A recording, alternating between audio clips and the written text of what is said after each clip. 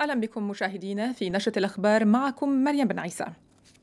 البداية من بريطانيا حيث سيتم اليوم دفن الملكة إليزابيث الثانية إلى جانب الأمير فيليب حيث يجتمع العالم في لندن للاحتفاء بحياتها الطويلة المكرسة لخدمة الأمة البريطانية. ويتم إحياء ذكرى الراحلة من خلال جنازة رسمية سيقوم خلالها كبار الشخصيات من جميع أنحاء العالم والزعماء الدينيون وجميع أفراد أسرتها بتكريم التزام الملكة تجاه بلدها وحبها لعائلتها وتفانيها لشعبها. وستختتم جنازة إليزابيث الثانية بطقوس جنازة خاصة وشخصية في كنيسة الملك جورج السادس التذكارية في قلعة ويندسور حيث ستنضم إلى والدها ووالدتها وأختها وزوجها دوق إدنبرا. ومن المتوقع أن يسير مئات الآلاف من الأشخاص على الطريق البالغ طوله 35 كيلومترا من لندن إلى ويندسور في غرب العاصمة. ويمثل صاحب السمو الملكي الأمير مولاي رشيد اليوم بلندن صاحب الجلالة الملك محمد السادس في مراسيم جنازة الملكة إليزابيث الثانية.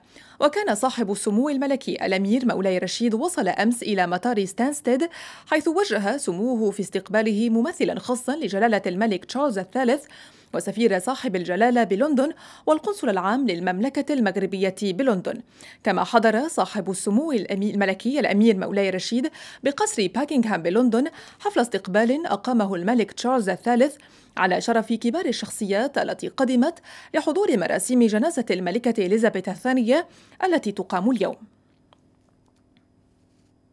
على صعيد آخر وفي تصريح لإنفانتكات ببوينوس آيرس أكد النائب البرلماني السابق والقيادي في حزب المقترح الجمهوري الأرجنتيني خورخي إنريكيز أكد أن المغرب بفضل صاحب الجلالة الملك محمد السادس شهد إصلاحات كبرى همت مختلف المجالات وشملت كافة المستويات. نتابع.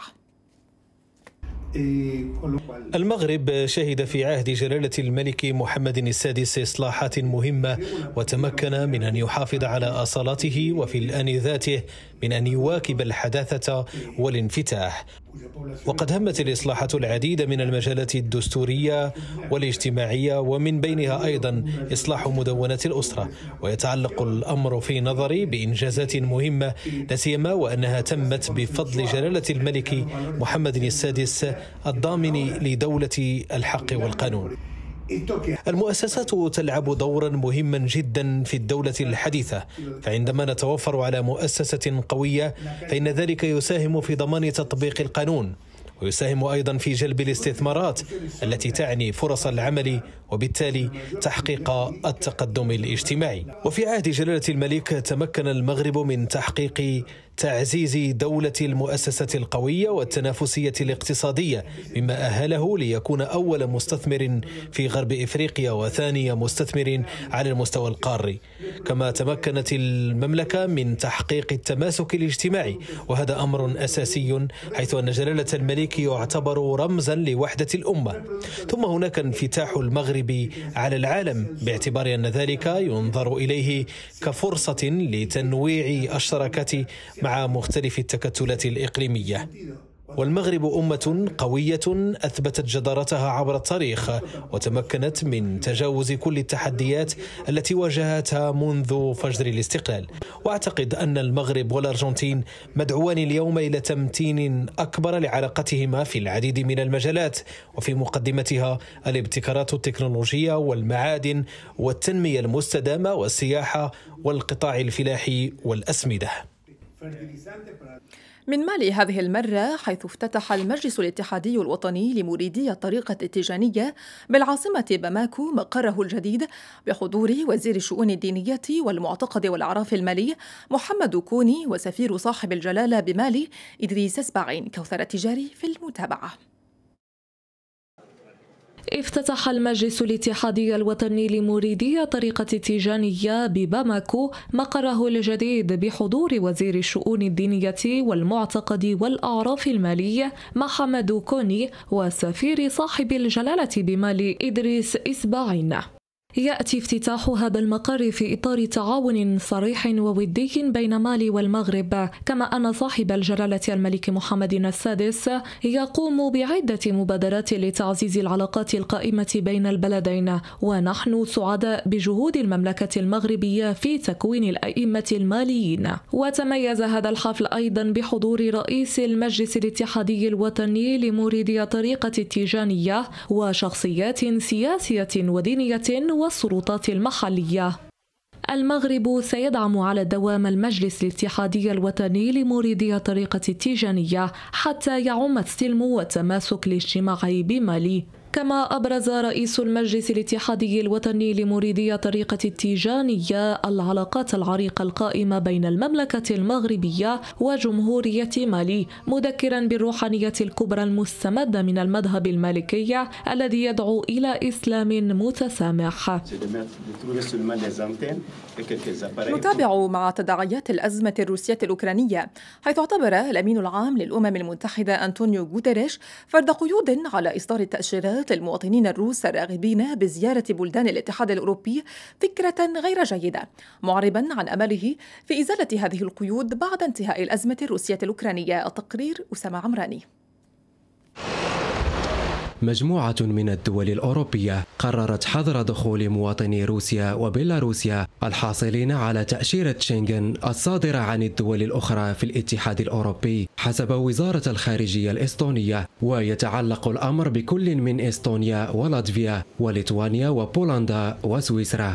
وعلق الاتحاد الأوروبي تماما اتفاقية تسهيل التأشيرة مع روسيا والتي كانت سارية منذ العام 2007 الأمين العام للأمم المتحدة أنطونيو غوتيريش اعتبر هذه المسألة بأنها فكرة غير جيدة معربا عن أمله في أن تزول هذه القيود بعد انتهاء العملية العسكرية في أوكرانيا. وأضاف أن العلاقات بين الاتحاد الأوروبي وروسيا تدهورت في الكثير من الجوانب منذ بدء العملية العسكرية الخاصة في أوكرانيا. وأنه يأمل أن تختفي كل هذه المواقف بعد انتهاء النزاع وحول مسألة إصدار التأشيرات الأمريكية للدبلوماسيين الروس الراغبين بالمشاركة في فعاليات الأمم المتحدة. أعرب غوتيريش عن شكوكه في أن التحكيم سيساعد في حل هذه المشكلة. وستطبق القواعد العامة لإصدار التأشيرات على المواطنين الروس حيث سيتم ارتفاع تكلفة الحصول على التأشيرة ومدة معالجة الطلبات وستكون هناك حاجة إلى تقديم مستندات إضافية لطلب التأشيرة. بالسنغال كشف الوزير الأول أمادو با الستارة عن لائحة أعضاء حكومته المكونة من 38 وزيرا. ويعد أمادو با الذي شغل منصبي وزير الشؤون الخارجية ووزير الاقتصاد في وقت سابق رابع شخصية تتقلد هذا المنصب. تفاصيل أوفى في تقرير رغد قبوري. الوزير الأول السنغالي أمادو با أعلن عن لائحة أعضاء حكومته المكونة من 38 وزيراً. الرئيس السنغالي ماكي سال كان قد عين أمادو با وزيرا أولا بعد أيام قليلة على تنصيب الجمعية الوطنية الجديدة المنبثقة عن الانتخابات التشريعية في الحادي والثلاثين من يوليوز الماضي. حكومة با الحالية تضم 38 وزيرا من بينهم ثمان نساء وثمانية وزراء شباب. وقد أعيد تعيين بعض الوزراء مثل السيدة عيساتا تال سال وزيرة الشؤون الخارجية والسنغاليين بالخارج ووزير الداخلية السيد فيليكس أنتوان ديومي في الفريق الحكومي الحالي. Qui peuvent être. وفي المقابل غادر الحكومة وزراء آخرون أبرزهم عبد الله داودا ديالو وزير المالية والميزانية وأمادو هوت وزير الاقتصاد والتخطيط والتعاون ومتار با وزير الرياضة وعبد الكريم سال المكلف بالبيئة ومالك سال المكلف بالعدل وندي سال ديوب وزيرة شؤون المرأة دوليا دائما جددت الأمم المتحدة دعوتها سلطات طالبان إلى اتخاذ إجراءات عاجلة لإعادة فتح المدارس الثانوية للفتيات في أفغانستان معتبرة أن إغلاقها منذ سنة أمر مخزن ولا مثيل له في العالم. وقال الأمين العام للأمم المتحدة أنطونيو غوتيريش في تغريدة على حسابه في تويتر أن الأحد يصادف ذكرى مرور سنة كاملة على استبعاد الفتيات من المدارس الثانوية في أفغانستان سنة من إهدار المعرفة والفرص الضائعة. من جهة ثانية نظم مجلس الجالية المغربية بالخارج مائدة مستديرة بالرباط حول موضوع الحكامة الجيدة في مجال تدبير الموارد المائية آية سياسية وإجراءات لمواجهة ندرة المياه والتغيرات المناخية للخروج بمقترحات وتوصيات كفيلة بضمان الأمن الغذائي والمائي. هيام الهادف والمزيد من التفاصيل. أمام تفاقم أزمة شح الموارد المائية في المغرب نظم مجلس الجالية المغربية بالخارج مائدة مستديرة بالرباط حول موضوع الحكامة الجيدة في مجال تدبير الموارد المائية أية سياسة وإجراءات لمواجهة ندرة المياه والتغيرات المناخية. اللقاء التشاوري عرف حضور كفاءات مغاربة العالم والخبراء في مجال المياه والتغيرات المناخية والطاقات البديلة للخروج بمقترحات وتوصيات كفيلة بضمان الأمن الغذائي والمالي.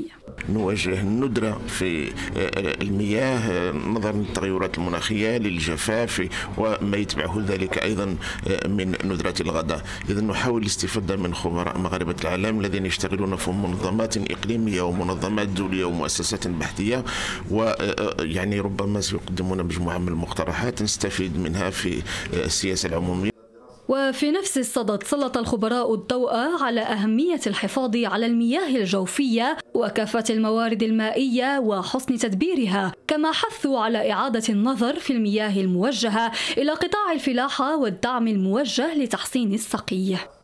مجهودات آه، كتقوم بها الدولة ولكن رغم ذلك كتبقى غير كافية. غير كافية لأن حتى المواطن خصو يساعد وكتعرف بأن الفلاحة كتأخذ تقريبا حتى ل 85 حتى 90% من الموارد المائية هي خصنا نديروا فيها واحد المجهود كبير باش يمكن لنا نقتصدوا وخلص الخبراء إلى أن المغرب يتوفر على ترسانة قانونية كاملة في المجال البيئي مشددين على ضرورة تعزيز التكوين والتحسيس بأهمية هذه المادة الحيوية. في الخبر الثقافي بطنجة انطلقت فعاليات الدورة الرابعة لأسبوع الفيلم الإيفواري بالمغرب التي تنظم هذه السنة بموازاة مع فعاليات المهرجان الوطني للفيلم. وتأتي التظاهرة في إطار توطيد العلاقات بين المغرب وكوت ديفوار وتفعيلا لمقتضيات اتفاق الإنتاج المشترك والتبادل السينمائي. كوثر التجاري أعدت لنا التقرير التالي. انطلقت بطنجة فعاليات الدورة الرابعة لأسبوع الفيلم الإيفواري بالمغرب التي تنظم هذه السنة بموازاة مع فعاليات المهرجان الوطني للفيلم. وتأتي هذه التظاهرة التي ينظمها المركز السينمائي المغربي بشراكة مع المكتب الوطني للسينما بكوت ديفوار وبرعاية وزارة الشباب والثقافة والتواصل وسفارة كوت ديفوار بالمغرب. في إطار الذكرى الستين لإرساء العلاقات الدبلوماسية بين المملكة المغربية وجمهورية كوت ديفوار. لمدة سنتين لم نتمكن من تنظيم هذا المهرجان بسبب وباء كوفيد. واليوم نحن جد سعداء باستئناف هذا الموعد الثقافي الذي يصب في صالح السينما الإفريقية. انعقاد هذه الدورة تزامنا مع فترة تنظيم المهرجان الوطني للفيلم بطنجة سيمكن مرتدي المهرجان والمواطنين الأفارقة المقيمين بطنجة ولا سيما الجالية الإيفوارية من متابعة الإنتاج السينمائي الإيفواري الحديث كما سيشكل مناسبة للمهنيين الإيفواريين والمغاربة للالتقاء ومناقشة المشاريع المستقبلية للتعاون والإنتاج المشترك.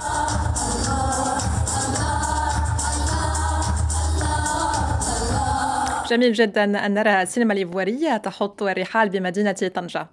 بهذا نكون قد وصلنا مشاهدينا لنهاية النشرة لكن تغطيتنا مستمرة لأبرز الأخبار. بعد قليل نلتقي في موجز لأهم الأنباء. في أمان الله.